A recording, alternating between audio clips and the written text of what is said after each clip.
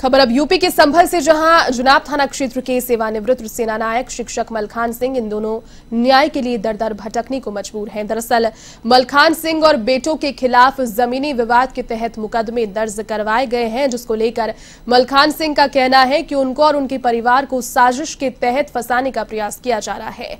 इसी को लेकर पीड़ित मलखान सिंह से बातचीत की लखनऊ से वन टीवी संवाददाता निकेत तिवारी ने। प्रदेश में कानून व्यवस्था दुरुस्त है। ऐसे दावे किए जाते हैं, ऐसे वादे किए जाते हैं। लेकिन उसके बावजूद भी कई ऐसे ज़िले हैं जहाँ पर लोग प्रताड़ित हैं, परेशान हैं और अपने ज़िले से लंबा सफ़र तय करके राजधानी लखनऊ का रुख करते हैं। और ऐसे ही एक पीड़ित हैं जो संभल ज़िले से आए हैं और ये वो इस बात का दावा कर रहे हैं कि उन्हें गलत आरोपों में और गलत तरह से फंसाया जा रहा है। हालाँकि कुछ विवाद ज़मीन को लेकर चल रहा था, उसको लेकर बात सामने आ रही है कि रंजिश तहत इनको फंसाया जा रहा है। हमारे साथ जुड़े हुए हैं, ये संभल से आए हुए, ये पीड़ित हैं। क्या नाम है आपका और क्या प्रॉब्लम है समस्या क्यों क्यों आपको संभल से यहाँ तक आना पड़ा? मेरा नाम मलखान सिंह और संभल जिला का रहने वाला हूँ और मेरा थाना जुनावई है। गाँव घोंसी मौका में। हमारे ऊपर एक झूठा मुकदमा मेरे व मेरे परिवारीजनों के ऊपर लिखाया गया है। हमारे गाँव की भारत ने जो मुकदमा लिखाया है, वो गलत दिखाया हमारा उनसे ज़मीनी विवाद चल रहा था। और ज़मीनी विवाद को लेकर मैं रंजित के साथ मुकदमा लिखाया। मैं सुबह ही खेत जोतने घर से करीब नौ बजे के करीब खेत पर गया। खेत विद्यालय का है। मैं विद्यालय का प्रबंधक हूँ। और वहाँ पर दो तीन महिलाएँ उनकी जब पहुँची तो मैंने, उन्होंने मना किया, हम खेत जोतने नहीं जोता, हम गाँव वापस चले गए। जब गाँव वापस चले गए, वहाँ पर ना वो लड़की थी जिसके खिलाफ, हमारे खिलाफ मुकदमा जिसका नाम नीरज है, न लड़की के पिता ही थे। वहाँ पर दो चार छः आदमी, दस पाँच आदमी और खेत वाले खेचे हुए इनके सामने की ये घटना है। और जो घटना के मतलब चश्मदीद गवाह भी हैं। वहाँ पर एक लड़की के भाई, चचेरे भाई ने वीडियो बनाया था। उस वीडियो को दिखा करके हमारे लिए फंसाया गया है, लेकिन न वीडियो में न लड़की है, ना और कोई चीज़ है, ना कोई विवाद हुआ है इस तरीके का। सर हम सबसे पहले आपसे ये समझना चाहेंगे कि जो विद्यालय की जिस ज़मीन की आप बात कर रहे हैं, वो विद्यालय किसका है किसके नाम पर है वो विद्यालय, और जो खेत है, उसकी जो ज़मीन है वो किसके नाम पर है? सर, जनप्रिय किसानपुर माध्यमिक विद्यालय सरकार द्वारा मान्यता प्राप्त विद्यालय है। मैं घोंसली, मैं उसका प्रबंधक हूँ, और बराबर मैं उसके एक माह अगस्त के महीने में अभी एक जो रोड में चली गई, ज़मीन का बैनामा भारत की माँ मतलब भारत की माँ भूरी के नाम हुआ है। और भारत की माँ के भूरी भूदेवी भूदेवी कई नाम हैं, ये फर्जीवाड़ा करते हैं।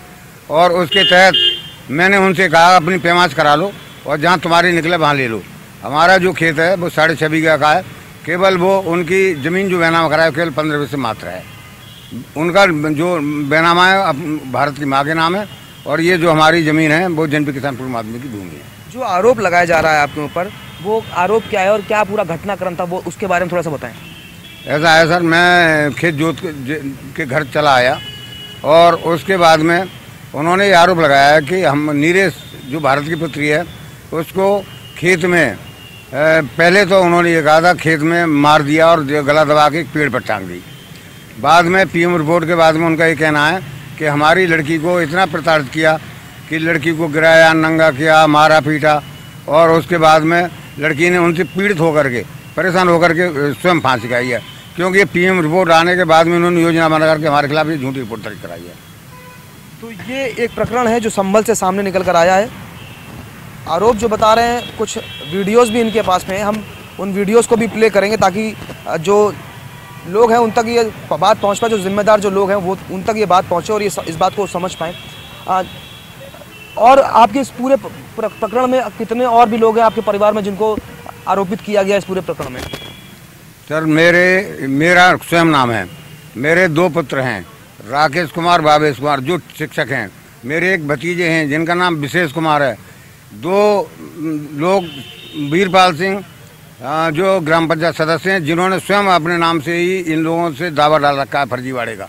एक वीरपाल के तेरे भाई श्रीपाल हैं। हम छह लोगों के खिलाफ गलत और झूठा मुकदमा दर्ज कराया है। एक ये शिक्षक परिवार है और ये शिक्षक परिवार जब इंसाफ संभल में मिला नहीं तो राजधानी लखनऊ का रुख किया हुआ है और ये प्रयास कर रहे हैं कि हमारी बात उन जिम्मेदार लोगों तक पहुँचे ताकि जिन गलत आरोपों में इन्हें फंसाया जा रहा है, इनके परिवार को फंसाया जा रहा है, इनके सभी पुत्र शिक्षक हैं और ये खुद भी स्वयं शिक्षक और प्रबंधक हैं एक स्कूल के। तो सवाल ये उठता है, जब बात कानून व्यवस्था की हो कि प्रदेश में कानून व्यवस्था दुरुस्त है, जिलों में पुलिस अपने काम कर रही है तो आखिर क्यों एक ज़िले के व्यक्ति को, एक शिक्षक को संभल से निकलकर राजधानी लखनऊ का रुख करना पड़ रहा है, ये एक बड़ी बात है। हम प्रयास करेंगे ये खबर चलने के बाद में, जिम्मेदार इस खबर का संज्ञान ले और ऐसे पीड़ितों को अपना जिला छोड़कर राजधानी लखनऊ का रुख ना करना पड़े। कैमसन प्रवीण के साथ में एन के तिवारी एवन टीवी